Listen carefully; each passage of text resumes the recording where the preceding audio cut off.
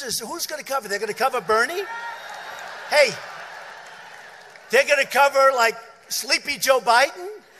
They're going to cover Pocahontas, who was she of the great tribal heritage. What tribe is it? Uh, let me think about that one.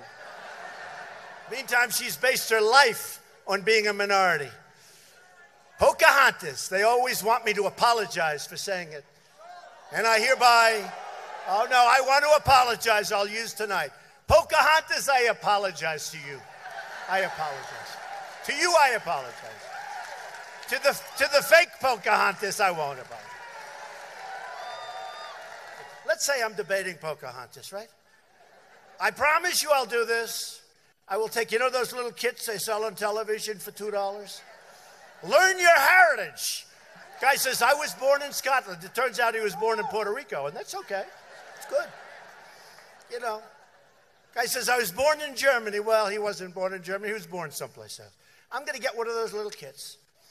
And in the middle of the debate, when she proclaims that she's of Indian heritage, because her mother said she has high cheekbones.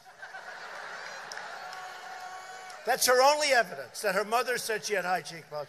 We will take that little kit and say, but we have to do it gently. Because we're in the Me Too generation, so we have to be very gentle. And we will very gently take that kid and we will slowly toss it, hoping it doesn't hit her and injure her arm. And we will say, I will give you a million dollars to your favorite charity, paid for by Trump, if you take the test and it shows you're an Indian, you know.